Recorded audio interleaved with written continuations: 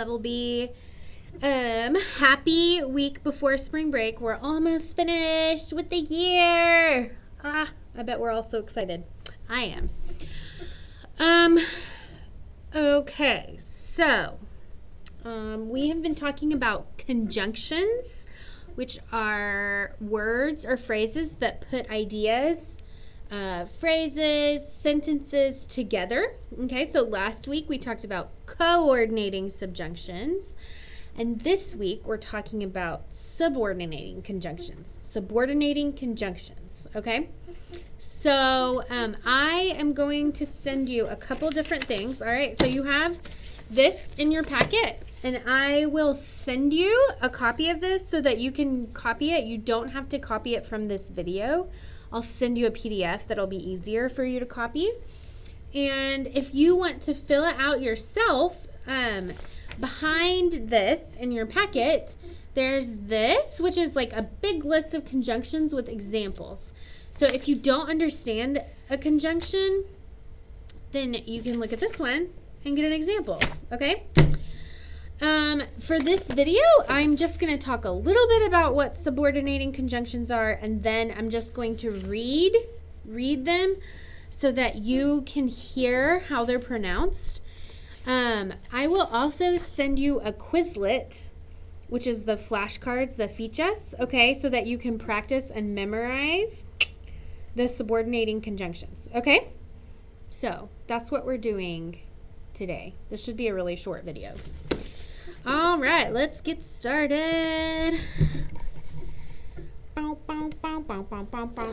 Okay. So these are, okay, so last week we talked about coordinating conjunctions, which put together two equal ideas or phrases or whatever, okay? Um, subordinating conjunctions, they put together two ideas. There's a little idea and then a big idea, okay? So um, it's not two ideas that have the same importance. There's one small idea and one big idea. So here's an example, okay? After I ate tacos, I took a nap. So in this sentence, the main event, the most important thing is here. I took a nap. We call this the independent clause. So if I said, um, hey, what did you do this weekend? And you said I took a nap, then that's a good sentence, right? I took a nap. That's you told me what you did. That's the important part of the sentence, okay?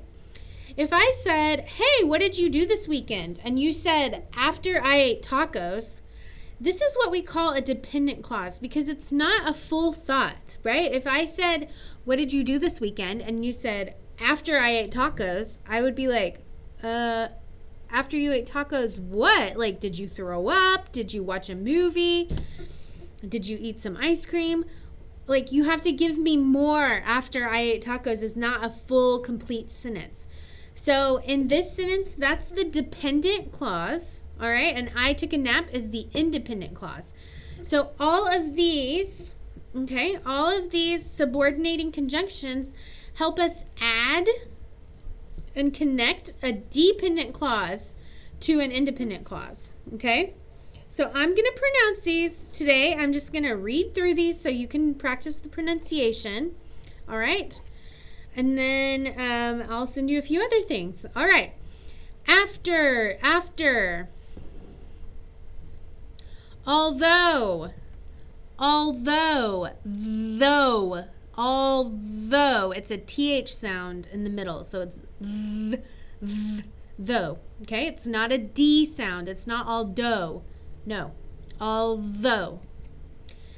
As a result as a result as if as if as long as as long as as much as as much as as soon as as soon as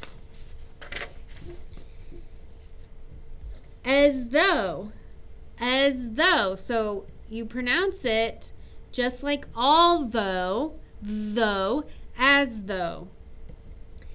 Because because before before even if even if Don't forget the N sound. Even if. Even though. Even though. And you might look the Spanish pronunciation for even or the yeah, the Spanish translation is the same as number 2. So although aunque number 12 is even though aunque they're the same. The meaning is the same. You can switch the words out, okay? So you could say I like although. Perfect. Use although. I like even though. Perfect. Use even though. They mean the same thing, okay?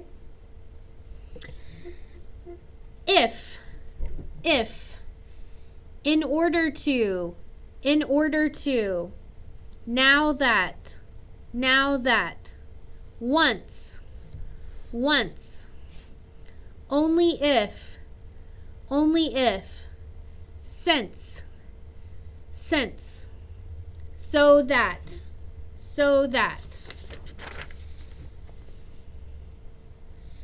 therefore Therefore, this one's very um, formal. We don't use it very often, but I wanted you to hear it. Therefore, though, though, it's the same. Though, although, even though. You can just say though. Unless, unless, until, until. It's so unless and until.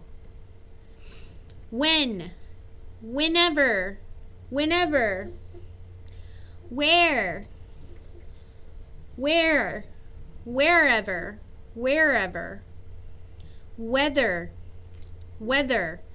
So you say this the same as like the weather outside. Today it is sunny.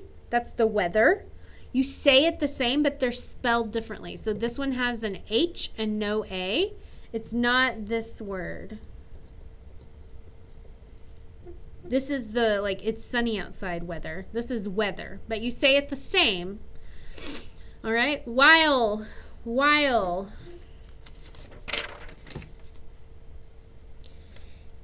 Whoever. Whoever. And whereas. This one is very formal.